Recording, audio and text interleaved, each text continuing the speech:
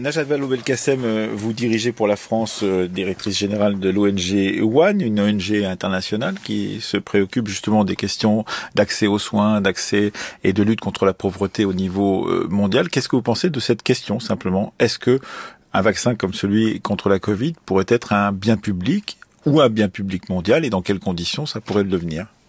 Vous savez, l'ONG euh, que je dirige en France, One, est une ONG qui connaît bien ces questions de santé et, euh, et bien la difficulté, y compris quand les traitements ou les vaccins existent, euh, de faire en sorte qu'ils soient accessibles dans les pays les plus pauvres du monde. C'est de cela que, nous nous soucions. On, sait qu'en moyenne, des traitements mettent quelques 7 ans 7 ans à arriver dans les pays les plus pauvres vers les populations les plus éloignées de tout, une fois qu'ils ont été découverts euh, dans les pays les plus riches. Or, ces sept ans, en fait, s'expliquent notamment par des contrats d'exclusivité qui ont été signés par les pays riches avec les fournisseurs de vaccins ou de traitements.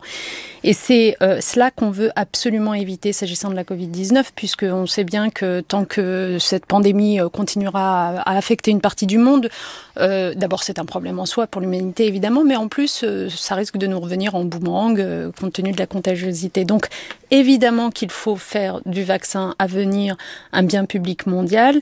Ce qu'on entend par là, c'est tout simplement que son accès soit équitable et qu'il ne dépende ni de la nationalité ni de la richesse. Donc en effet, qu'il soit distribué à des coûts euh, permettant le plus large accès.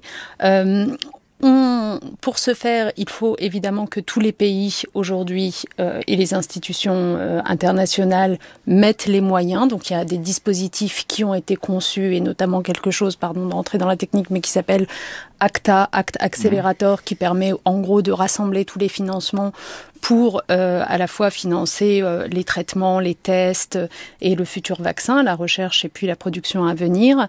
Mais euh, au-delà de, de, de, ces moyens qu'il faut trouver, et, et, je peux vous dire qu'on est loin de les avoir trouvés, hein, puisqu'on estime qu'il faut à peu près 38 milliards de dollars pour pouvoir euh, servir 2 milliards de personnes sur Terre d'ici fin 2021 avec le vaccin à venir, seulement 2 milliards mmh. de personnes, hein, donc c'est pas la totalité de la population, il faut 38 milliards de dollars. Aujourd'hui, on a trouvé 3 milliards de dollars.